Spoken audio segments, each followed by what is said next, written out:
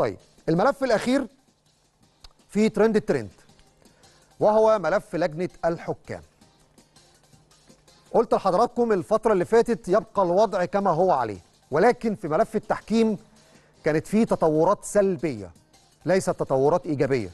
أنا قلت هرجع عليها بقى في معسكرات وفي تحضيرات وفي اجتماعات ولكن رجعت لقيت الدنيا بايظة. بايظة بايظة. لا في لجنة ولا في رئيس لجنة ولا في خريطة الاستعداد للموسم الجديد بل بالعكس مشاكل بين أعضاء في اللجنة مع حكام دوليين. مشكلة في معسكر النخبة مع حكام دوليين. مشكلة مع بيريرا ما تعرفش مشكلة جاية هل من أعضاء في اللجنة هل من أعضاء في اتحاد الكورة. مفاوضات تمت ما بين أعضاء في اتحاد الكورة مع شخصية جديدة مصرية تقود التحكيم الفترة اللي جاية تفاصيل كتيرة جدا. أنا النهارده مش هدخل في كل التفاصيل ولكن اللي هقوله النهارده. بيريرا البرتغالي رئيس لجنة الحكام في مشكلة معاه؟ آه في مشكلة معاه. ممكن يكمل بنسبة 50 60% لا ممكن ما يكملش. ليه؟ ماليش علاقة بقى بفندق الإقامة وجابوا شقة أسرته قاعدة فين متضايق زعلان دي أمور إدارية المفروض الاتحاد يوفر فيها كل شيء للخبير البرتغالي اللي موجود. حسب الاتفاق. محدش فينا يعرف العقد فيه إيه. لكن طبقا للعقد نفذ الاتفاق. لكن هتكلم على الشغل الفني. الراجل طلب تغيير في أعضاء لجنة الحكام. والراجل قال أنا مش هشتغل مع المجموعة اللي كانت معايا للموسم اللي جاي. وطلع واتكلم عليهم وعلى شغلهم وقال التحكيم كان سلطة. قالها كده سلطة. طبعا أنا قلت بيني وبين نفسي الناس اللي قال عليهم كده هيقدموا استقالة هيمشوا هيردوا عليه. لا خالص. سكوت صمت مريب محدش عايز يرد. يا جماعة ده قال عليكم سلطة. يعني أنتوا ما بتشتغلوش. أنتوا بتعكوا. لا محدش رد عليه. فالراجل عايز يغير. في ناس في الاتحاد مش عايزة تغير.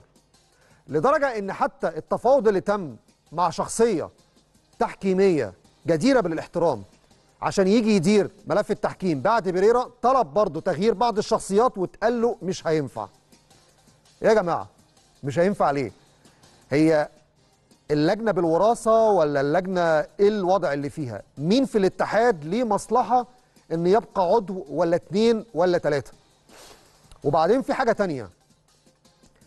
اللي مشى كلاتنبرج وكان سبب في مشيانه ودلوقتي بيريرا عايز يمشيه ويبدو إن هو برضه اللي هيمشي بيريرا والشخصية المصرية اللي هتقود ملف التحكيم إذا تم الاتفاق معاها برضه رفضت نفس الشخصية اللي مشت كلاتنبرج واللي عايز يمشي بيريرا. ومع ذلك في تمسك إنه يكون مستمر. إيه الأسباب؟ ليه؟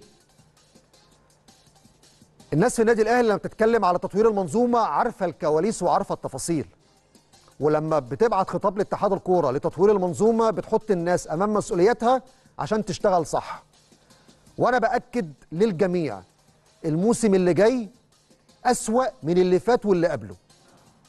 مشاكل مع الحكام الدوليين مشاكل ما بين الحكام الدوليين مشاكل ما بين الحكام الصاعدين مع الحكام الدوليين.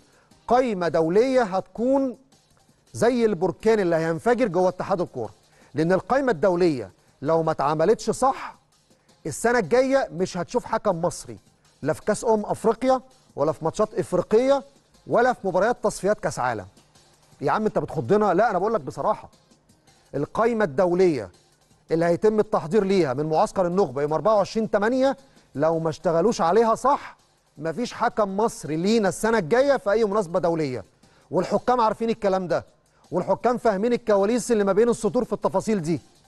ومع ذلك كل الدوشة دي وبريرا عنده أزمة ومشكلة. عايز يغير ومحدش عايز يساعده. طب إيه اللي هيحصل؟ بكرة في جلسة. بكرة؟ آه بكرة في جلسة ما بين بريرا مع مسؤول بارز في اتحاد الكورة عشان يشوفوا الخطوة اللي جاية. مسألة بقاء بريرا من رحيله ليست متساوية. بمعنى نسبة رحيل بريرا تتخطى ال 50 60% وقلت الكلام ده من شوية.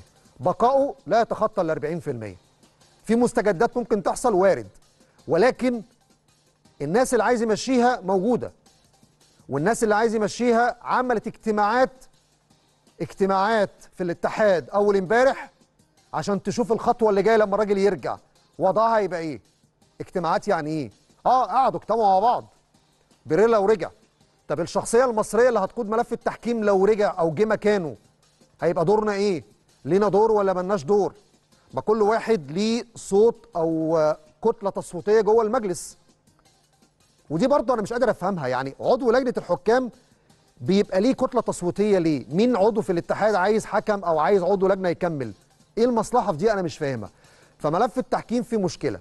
في مخطط لتطفيش بريرا آه في مخطط. بريرا ممكن يمشي؟ آه ممكن يمشي. هو عايز يقعد؟ هيقعد بس بشروط. هل الشروط هتتنفذ؟ أشك. والأيام بينا وهنشوف اللي هيحصل خلال الفترة اللي جاية. لكن. حتى بعد رحيل بريرا أو إذا رحل الشخصية المصرية اللي بيتفاوضوا معاها عشان تقود ملف التحكيم في مؤامرة ما بين بعض الأعضاء كمان عشان ما يجيش لأنه طلب رحيل اتنين من أعضاء اللجنة خلال الفترة اللي جاية. مش هذكر أسماء كتير ولكن الأيام المقبلة هتكشف لكم كواليس وتفاصيل فيها أسماء واضحة وساعتها هنتكلم بالاسم وبالمعلومة وبالخبر عن كل واحد إيه اللي تم معاه قبل كده وإيه اللي هيتم معاه خلال الفترة اللي جاية.